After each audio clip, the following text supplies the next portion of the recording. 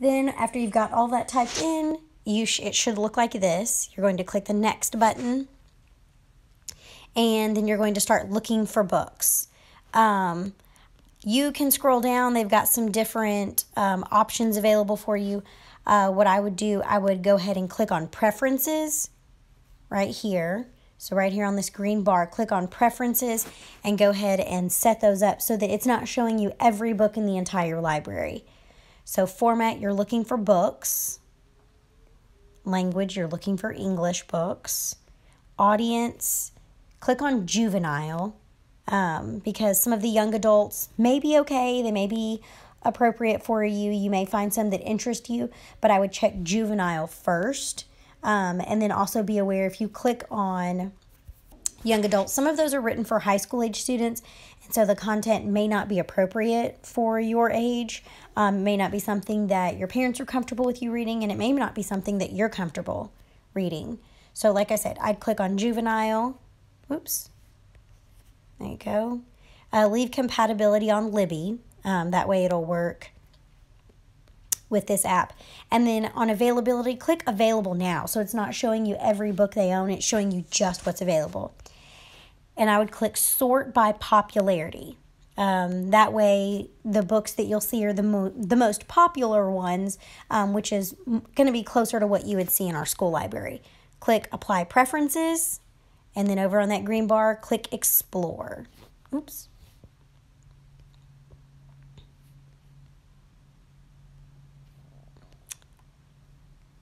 and then go over to kids and it's got your five preferences that you already set so it's got those there and then click all titles. And you're able to scroll down and look at these see um, some of the different ones and if you notice like right here it says the lost hero rick riordan.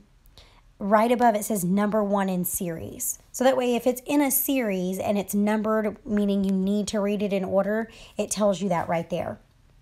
Um, if you're like, huh, that, that looks interesting, you know, um, you're thinking you might like it, go ahead and click the tag button. And you can click that little set of books. And all it's going to do is tag it as maybe a favorite. So it's something that you could come back to. So maybe after you check this one out, it'd be an option, something to check out next. Um, Number the Stars, that's also a really good book. The City of Ember. So let's say you decide you want to read. Hmm. What might you want to read? Let's see. Let's say there's nothing on that page. Let's say you just keep going. Ooh, counting by sevens. There's Chomp. Okay, so those are both really good books. Let's say you want to read counting, you think you want to read counting by sevens. If you click on the book, it shows it'll show you it'll um, it'll show you a bigger picture of the cover and it'll tell you um, what what the book is about. So right here um, in the second paragraph willow chance is a 12 year old genius obsessed with nature and diagnosing medical conditions. Finds it comforting to count by sevens. It's never been easy for her to connect with anyone other than her adoptive parents, but that hasn't kept her from leading a quietly happy life until now. So, tells you about your inciting incident a little bit. Um, then this next paragraph gives you a little bit more about what that inciting incident might be.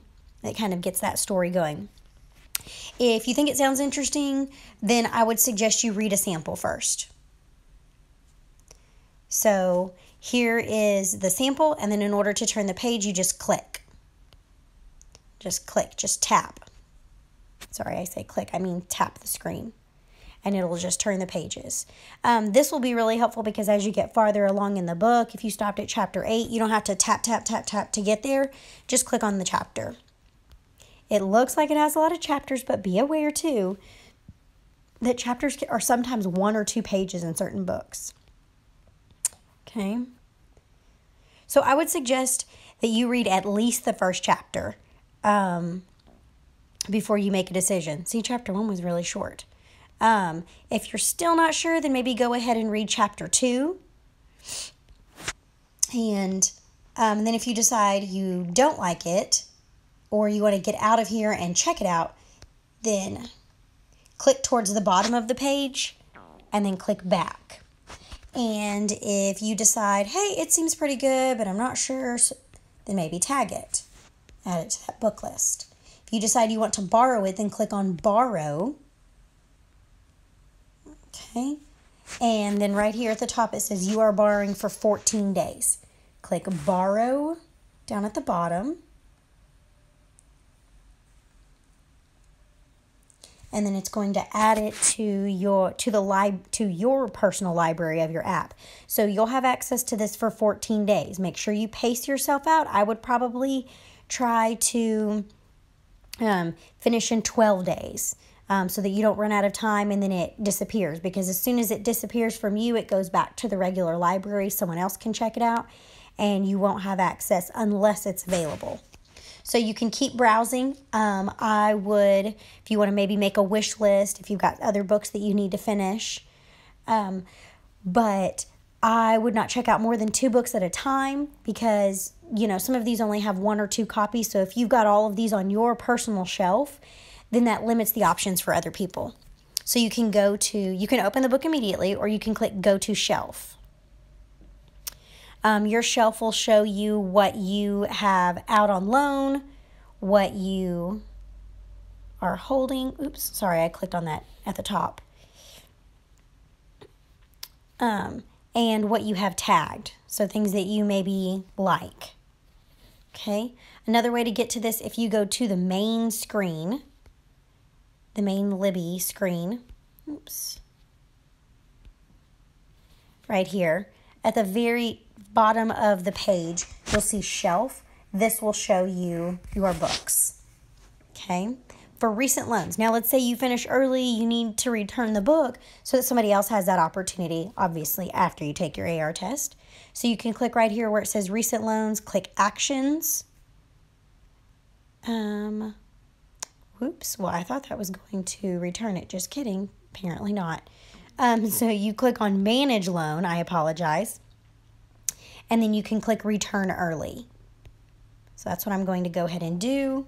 Click return because I don't actually have intentions of reading this right now. I'm actually already in a paper book.